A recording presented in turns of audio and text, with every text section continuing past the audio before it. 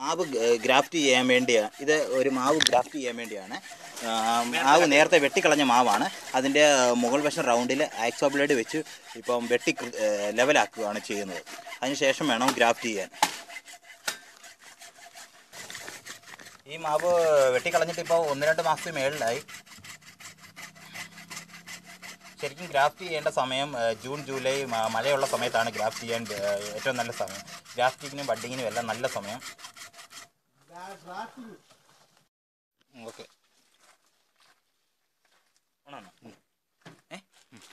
ഇത് ഗ്രാഫ്റ്റ് ചെയ്യുന്നതിന് വേണ്ടിയാണ്. ഇത് മാവിന്റെ മുകൾ വശം ആക്സോബിഡ് വെച്ച് കറക്റ്റ് റൗണ്ടിൽ കട്ട് ചെയ്ത് കഴിഞ്ഞു. ഇനി ഇത് ചെത്തി ലെവൽ ചെയ്യാണ്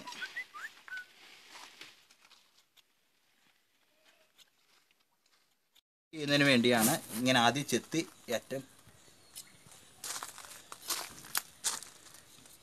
നല്ല മൂർച്ചയുള്ള ആയുധം ഉപയോഗിക്കണം. ഇത് വെറും പന്നലാണ് ഉപയോഗിക്കുന്നത്. നിങ്ങൾ ഉപയോഗിക്കുമ്പോൾ നല്ല മൂർച്ചയുള്ള ഏതെങ്കിലും കത്തി ഉപയോഗിച്ച് ചെയ്താൽ അത്ര നല്ലത്. ഏ?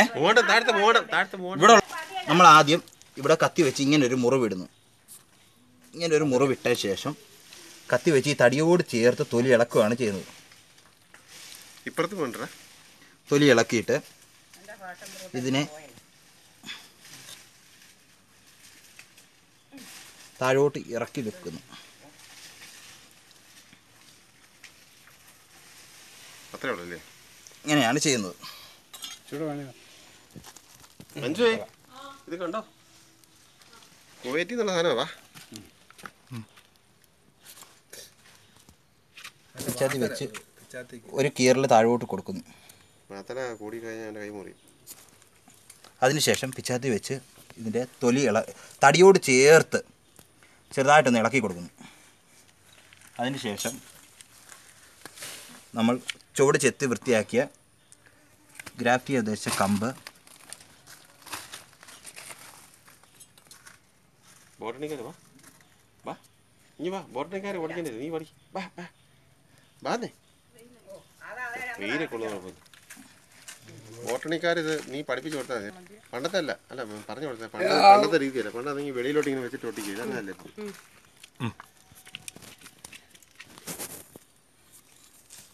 പണ്ടാണെങ്കിൽ വെളിയിലോട്ട് വെച്ചിട്ട് ചെയ്യുന്ന പോലെ. അതല്ല ഇപ്പം. ചെയ്യേണ്ട ഒരു ഇതേ വേറെ മറ്റേ അങ്ങനെ ചെയ്യുന്ന. വണ്ടി ചെയ്യുന്നത് ചെത്തിയേച്ച് കഥയിലോട്ട് മറ്റേന്റെ തൊലി വെച്ച് പിടിപ്പിക്കും. ഓക്കെ സ്റ്റോപ്പ് ചെയ്യും. ഈ ഇതിന് ടേപ്പ് വെച്ച് ചുറ്റുക.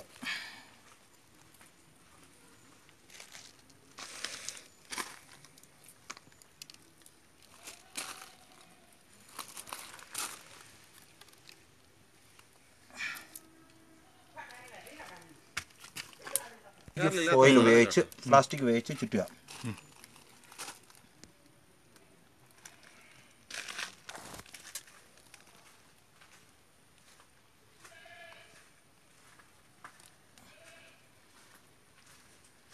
വെള്ളം ഇറങ്ങാതിരിക്കാം അല്ലേ വെള്ളം ഇറങ്ങാതിരിക്കാം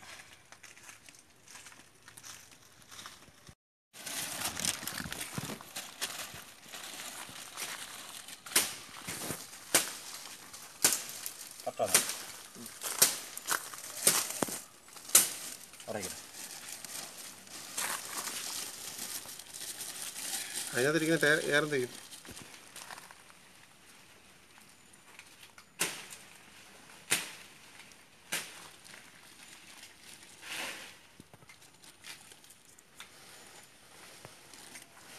നീ താഴെ വന്ന ഇവിടെ ഒരു ഓലി പോലും ഇല്ലായിരുന്നു അതിന്റെ വെള്ളം നീ ആണോ? അതെ അതെ.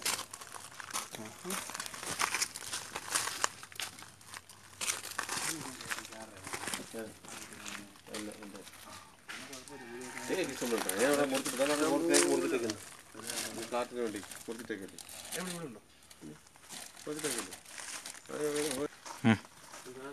ഇത് ബഡ് ചെയ്ത് ഗ്രാഫ്റ്റ് ചെയ്ത് കയറ്റിയതിന് ശേഷം നമ്മൾ കവർ വെച്ച് മൂടിയിരിക്കുകയാണ്. എയർ ടൈറ്റ് ചെയ്ത് വെച്ചിരിക്കുന്നത്. ഹ്യൂമിഡിറ്റി ഇതിന് കിളുത്ത് കയറാൻ വേണ്ടി ഹ്യൂമിഡിറ്റിയാണ് എയർ ടൈറ്റ് ചെയ്ത് നമ്മൾ കവർ വെച്ച് മൂടുകയാണ് ചെയ്യുന്നത്. ഇത് മറ്റു പ്ലാസ്റ്റിക് സാധാരണ പ്ലാസ്റ്റിക് അല്ല ക്ലിയർ പ്ലാസ്റ്റിക് ഉപയോഗിച്ചാണ് ചെയ്യുന്നത്. ഇതിപ്പോൾ എന്റെ അതില്ലാത്തതുകൊണ്ടാണ് ഞാൻ ഈ ടൈപ്പ് പ്ലാസ്റ്റിക് വെച്ചത്. ഏത് ടൈപ്പ് പ്ലാസ്റ്റിക് കവർ വേണമെങ്കിലും ഉപയോഗിക്കാം ഇതിന്. എയർ ടൈറ്റ് ചെയ്ത് നമ്മൾ വെക്കുന്നതെന്ന്. ഹ്യൂമിഡിറ്റി ഇതിനകത്ത് ഉൽപ്പാദിപ്പിക്കണം. ഹ്യൂമിഡിറ്റി വന്നാൽ മാത്രമേ ഇവനെ നല്ലപോലെ കിളിർത്ത് കയറത്തുള്ളൂ. ഓക്കെ. ആ. ഇത് പ്ലാസ്റ്റിക് കവർ ഇട്ട് മൂടിയതിന് ശേഷം ഇതിപ്പോ നല്ല വെയിലുള്ളിടത്താണ് നിൽക്കുന്നത്. അത് കാരണം വെയിലടിച്ചാൽ ചിലപ്പോൾ കരിഞ്ഞു പോയേക്കാൻ ചാൻസ് ഉണ്ട്. അതുകൊണ്ട് അതിന് ഒരു കവർ കവർ എന്ന രീതിയിൽ ഒരു മറ എന്ന രീതിയിൽ ഒരു പത്ര പേപ്പർ വെച്ച് റൗണ്ടിലൊരു കുമ്പാരം പോലെ ഉണ്ടാക്കിയിട്ട് അത് താത്തു വെക്കുകയാണ് ചെയ്യുന്നത്. എന്നുവെച്ചാൽ വെയിൽ അധികം വെയിൽ അടിക്കാതിരിക്കുക എന്നാണ് ഇതിന്റെ ഉദ്ദേശം.